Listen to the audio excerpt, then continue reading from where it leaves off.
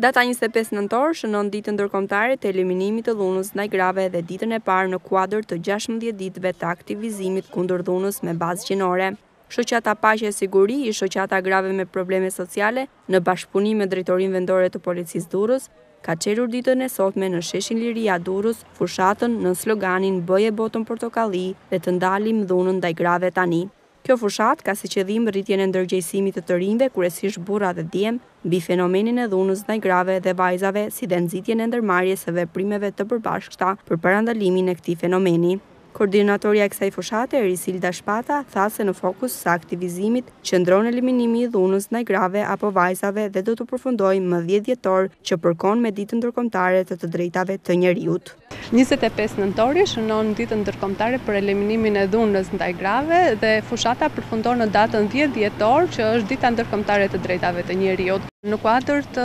fushatës të gjashtëmbëdhjetë ditëve të aktivizimit kundër dhunës me bazë gjinore, Shoqata Gender Paqe dhe Siguri, ish-Shoqata e Grave me Probleme Sociale,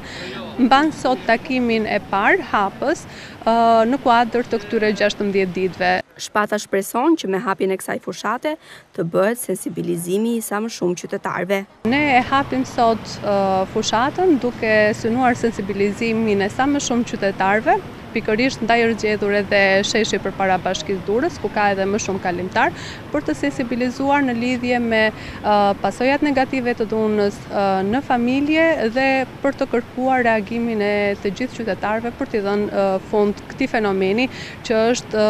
duke vrarë më shumë sesa vetëvrasjet. Fushata sensibilizuese për dhunën ndaj grave do të vazhdojë për gjashtëmbëdhjetë ditë me radhë, duke u zhvendosur në gjimnazet e Durrësit dhe Universitetin Aleksandër Moisiu.